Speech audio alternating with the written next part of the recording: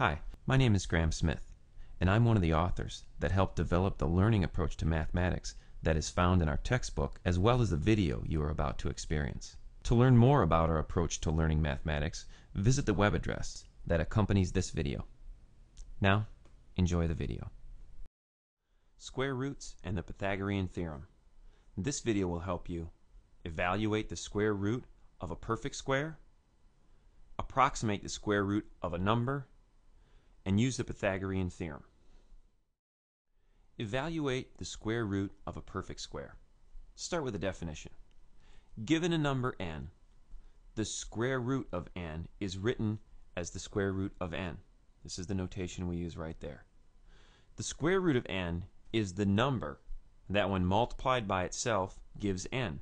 For example, if we take the square root of 4, I would read that, the square root of 4, it's 2. Because if I take this answer of 2 and multiply it by itself, 2 times 2 gives me 4. The square root of 36, we're looking for the number that when we multiply it by itself will give us 36. Well, that number is 6 because 6 times 6 is 36. Now, the square roots that we're going to take a look at in this particular case are all going to be perfect squares, meaning that when we take the square root of a number, it's going to work out to be a nice whole number. Not all square roots work out this way, but just for starting out here, we're only going to start out with perfect squares, meaning all of our answers are going to be nice whole numbers like 2 or 6. Another note here that square roots are evaluated during the exponent step of the order of operations. Now let's take a look at some examples that will help you understand how to find the square root of a perfect square. Example 1. Find the square root of 25. Well, if we're looking for the square root of 25, we're looking for the number that when we multiply it by itself, it gives us 25. And since I can take 5 times 5 to give me 25, the square root of 25 then is going to have an answer of 5. Example 2. Find the square root of this fraction, 4 49ths. Well, to find the square root of a fraction, what we can actually do is just take the square root of the numerator and then the square root of the denominator. Let's take a look at what we get now. If I take the square root of 4, I'm looking for the number that multiplied by itself will give me 4. Well, that is 2. With 49, I'm looking for a number, this number times itself will give me 49. That's 7, because 7 times 7 is 49. So when I take the square root of this fraction, 4 49ths, I get the fractional answer 2 sevenths. Example 3. Find the, find the, the, the result of this square root of 16 times the square root of 81. Well, we said that the square root gets evaluated during the exponent stage, which is certainly done before the multiplication that we have there. So let's see, let's write this out. So we have the square root of 16 times the square root of 81. First thing I'm going to do is I'm going to take these square roots. The square root of 16, I'm looking for a number multiplied by itself that gives me 16. That's 4. 81, I'm looking for a number times itself that gives me 81. That's 9. And then the next step is to do the multiplication. 4 times 9 is 36. Now it's time to check your understanding of finding the square root of a perfect square. Pause your video player and answer these guided practice questions. When you're done, hit play to see how you did. Question 1. We're asked to find the square root of 64. Square root of 64, what number times itself would give us 64? It's going to be 8. Question 2. Find the square root of 25 81sts. So what we're going to do is we're just going to find the square root of each of these individually. Square root of 25, and then the square root of 81. That will give us our fractional answer. The square root of 25 is 5. The square root of 81 is 9. So we get an answer of 5 ninths. Question 3. Find the result of this, the square root of 36 minus the square root of 4. So remember, square roots get evaluated during the exponent stage, which means they're going to get done before the subtraction. So first I'm going to take the square root of 36, which is 6. Then I'm going to take the square root of 4, which is 2. Then I'm going to do the subtraction, so I get an answer of 4. Approximate the square root of a number.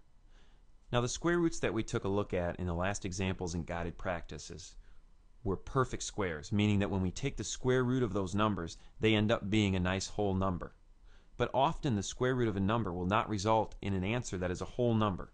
For example, if we take a look here, the square root of 4 4 is a perfect square because if we take the square root of 4, we get a nice whole number of 2.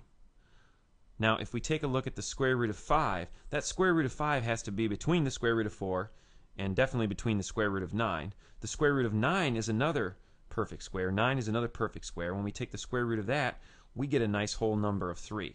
Now, the square root of 5 has to be between 2 and 3. There aren't any whole numbers between 2 and 3, so the square root of 5 must be a decimal number. To calculate numbers like this, like the square root of 5 that are not a perfect square, we either use a table or a calculator to come up with these numbers. Now, I went ahead and put the square root of 5 into my calculator, and when I punched it out, this is what I got. 2.2360679. Now, this decimal number is going to keep going on, and that's what those little dots mean.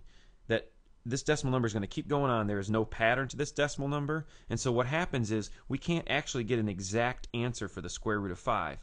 So we just get an approximation. So what we would do is we would take this decimal number, 2.23606, and we would round it to some specified value. Most of the time when you round these, you're either going to be rounded to the tenths place, which is right here, or you would be rounding it to the hundredths place, which is right there.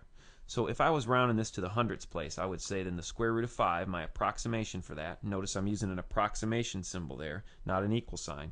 I would say the approximation for that rounded to the hundredths place is 2.24 because this 6 told me to round that 3 up. Now let's take a look at some examples that will help you understand how to find the or how to approximate the square root of a number. Example 4. The square root of 20 falls between which two numbers? Well, so we're looking for the square root of 20. We want to know where it falls between. So let's look at the perfect square below the square root of 20. So if we look going down from 20, we take uh, 19, that is not a perfect square. 18, that is not a perfect square. 17, no. 16, yes, 16 is a perfect square. I can take the square root of 16, that would give me 4. Now let's go on the other side. If we're going up from 20, we would look at 21. That is not a perfect square. 22, nope. 23, nope. 24, nope. 25, yes, I can take the square root of 25. That's a perfect square. And it will come up to be a whole number, and that's 5. So it looks like the square root of 20 is going to be is going to fall between 4 and 5. And so the way we would write that is we would say the square root of 20 is going to be bigger than 4, but it's going to be less than 5. Example 5 approximate the square root of 20 to the thousandths place using a table or calculator. All right, well, we know this answer is going to be between 4 and 5. If I punch this into my calculator, the square root of 20 into the calculator, this is what I get. 4.4721. And now I want to round this answer to the thousandths place. So let's say we go tenths, hundredths, thousandths. This 1 would tell me how to round the 2, and it's going to tell me to keep it the same. Now, one thing that I want to do then is when I say the square root of 20, round it to the thousandths place, we're getting just an approximation here. So I want to use an approximation symbol, and this would be 4.472. Now it's time to check your understanding of finding, approximating the square root of a number. Pause your video player and answer these guided practice questions. When you're done, hit play to see how you did. Question 4. The square root of 40, the square root of 42 falls between which two numbers? Well, let's take a look. Here's the square root of 42. Let's work our way down until we find a perfect square and up until we find a perfect square. So 41, nope, that is not a perfect square. 40, nope. 39, nope. 38, nope. 37, nope. 36, yep. I can take the square root of 36, that's 6. Let's work on the other side now. Uh, 43, nope. 44, nope. 45, nope. 46, 47, 48, nope. 49, yes, I can take the square root of 49. It gives me 7. So the square root of 42 is going to fall between 6 and 7. It has to be bigger than 6, but it has to be smaller than 7. Question 5. Approximate the square root of 42 to the thousandths place using a table or calculator. So Using a table or a calculator, we punch in the square root of 42, and we should get 6.4807. So tenths, hundredths, thousandths place. The 7 tells us how to round that digit in the thousandths place, so we're going to round that one up. So the square root of 42, the approximation for that, rounded to the thousandths place, is 6.481. Use the Pythagorean theorem. Let's start with a definition. The Pythagorean theorem states that for any right triangle, the leg squared plus the leg squared is equal to the hypotenuse squared. And some of these words may seem a little unfamiliar to you. So in a right triangle, notice we have to have a right angle in our right triangle. So there's our right angle in our triangle. Here's one of the legs. Here's the other leg. Notice the legs come together to form that 90 degree angle. Now, the, the side of the triangle that is opposite the 90 degree angle is called the hypotenuse of the triangle. So in our formula, we would say leg squared plus leg squared is equal to the hypotenuse squared. Now, sometimes it can help us and make it a little bit easier to kind of use this this Pythagorean theorem, but break it into a formula or make it into a formula to find a missing length of a side in a triangle. And here's what we would do. If we're looking for one of the legs in the triangle because we don't know it, we would take the square root of the hypotenuse squared minus the leg that we know squared. And then take the square root of that, and that would tell us the missing leg in the triangle. In the other case, if we're missing the hypotenuse, we don't know what the hypotenuse is, then we would take the square root of the leg squared plus the other leg squared. Now let's take a look at some examples that will help you understand how to solve for an unknown side in a right triangle by using the Pythagorean theorem. Example 6. Find the length of the missing side in the right triangle. And here's the formula that we're going to use. The leg equals the square root of the hypotenuse squared minus the known leg. I know to use this formula because you can see down here in my triangle I'm missing a leg. That's the, that's the missing side in this triangle, so I want to use this particular formula. So let's take a look. Our missing leg, x, is going to equal the square root of the hypotenuse squared. Well, the hypotenuse is the one that's directly across from the 90 degree angle, so that's going to be 6 squared minus the other leg squared. Well, the other leg is 3, minus 3 squared. So taking a look, we're going to get x equals the square root. Now we're going to simplify what's inside the square root first. So we're doing the work in here, and we would start with those exponents. We would take 6 to the second power, which is 36, and then we would take 3 to the second power, which is 9. And now we're going to subtract 9 from 36, which is going to give us 27. And so now I need to take the square root of 27. So I would punch that into my calculator, and the square root of 27 ends up being 5.196. Now, they didn't specify in this question where we need to round. So we will round this answer, and I'm probably going to round it to the hundredths place. Usually if it's not specified what you need to round to, typically we would round to the tenths or the hundredths place. I'll round this one to the hundredths place.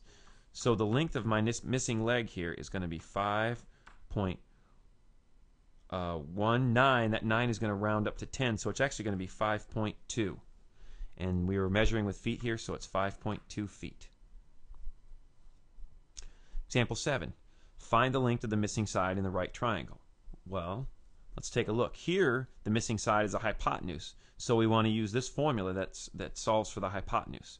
So we would say x, which is our hypotenuse, is going to equal the leg squared. Well, the first leg that I have here is 4, so I'll say 4 squared. The next leg that I have is 1, so I'd say 1 squared. And again, we're going to simplify what's inside that square root. So 4 squared is 16. 1 squared, 1 times 1 is just 1. And so what I'm actually going to evaluate here is the square root of 17. And when I look up, let's come over here.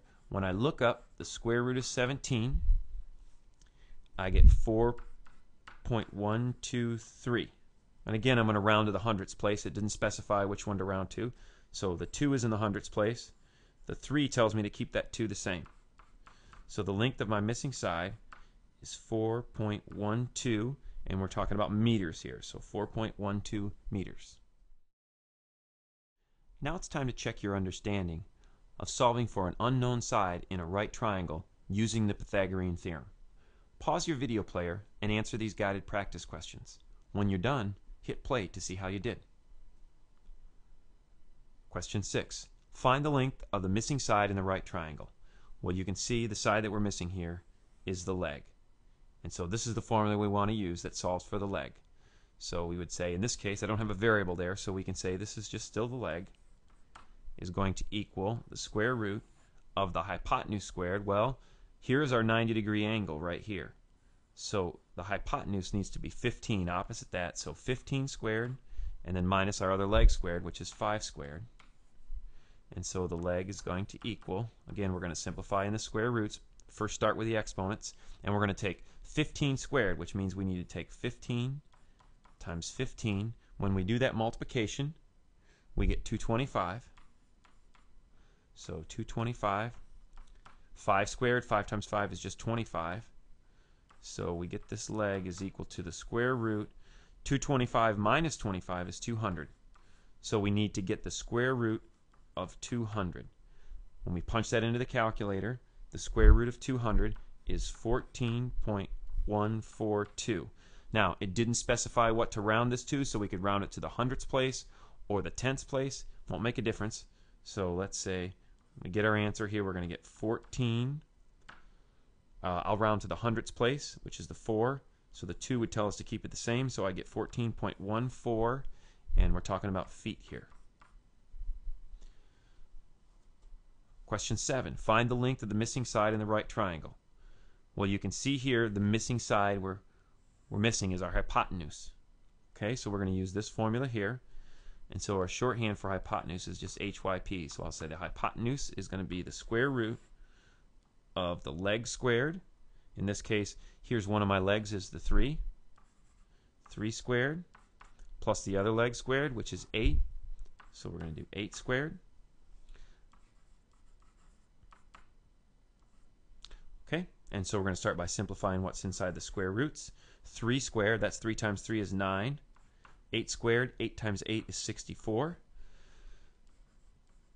So my hypotenuse is going to equal the square root. Well, I'm going to add 9 and 64 together, and that's going to give me 73. And when I take the square root of 73 and punch that into my calculator, I get 8.5 4, 4. Again, I'll round this to the hundredths place. That's the 4. That 4 tells me to keep that 4 the same. So when I'm finding this missing side, the hypotenuse, it's going to be 8.54. And that was inches. So we're going to include our units of inches on there. If you found this video helpful, I encourage you to check out our other videos that we have on YouTube or visit the web address that accompanies this video to learn more about our approach to learning mathematics.